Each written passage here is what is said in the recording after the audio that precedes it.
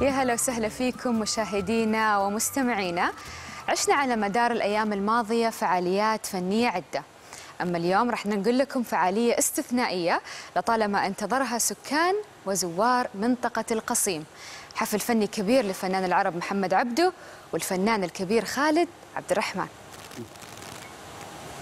آه، حفل انتظره جمهور الفنانين لفترة طويلة.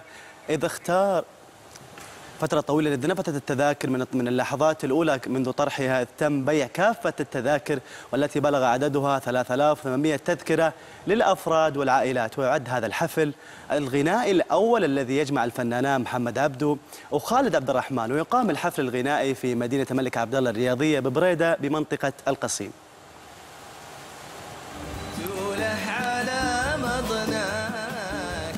مباشرة راح ننتقل للقصيم ومن هناك مراسل ام بي سي أحمد العثمان. سامعنا يا أحمد؟ أهلا وسهلا تغريد ومساء الخير. طبعا أول شيء أحمد نعم، أكيد إحنا أنا تغريد- نسألك عن الأجواء لكن قبل ما أنا أسألك عن أي أجواء للحفل والإستعدادات وكل شيء أبغى أسألك يا أحمد عن شعورك أنت كشخص عايش في القصيم ومن أهل القصيم أنت من أهل بريدة كيف شعورك اليوم وهذا الحفل صحيح. التاريخي اللي راح يقام لفنان العرب محمد عبده وطبعا ليل خالد عبد الرحمن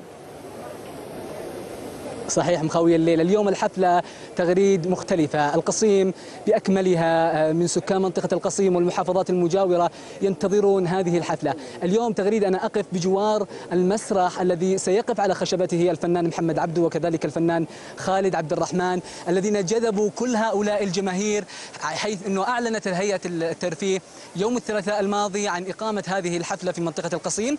بعد عدة ساعات أعلنوا أنه سيتم طرح التذاكر. خلال الساعات في أعلى قياس مر على الحفلات في السعودية تم بيع جميع التذاكر خلال 21 آه، آه، ساعة خلال 21 دقيقة فقط. هؤلاء الجماهير الذين أتوا من مدينة بريدة وعدد من محافظة القصيم عاشقي للغناء عاشقين للفن السعودي وكذلك لصوت محمد عبده وخالد عبد الرحمن. هذه آه، الحفلة تأتي ضمن آه، حفلات السعودية الذي أقيمت في ينبع وكذلك في جازان وحائل وكذلك في الرياض وهذه محطتها الخامسة في آه، القصيم وتحديدا في مدينة الملك عبد الله الرياضية في مدينة بريدة.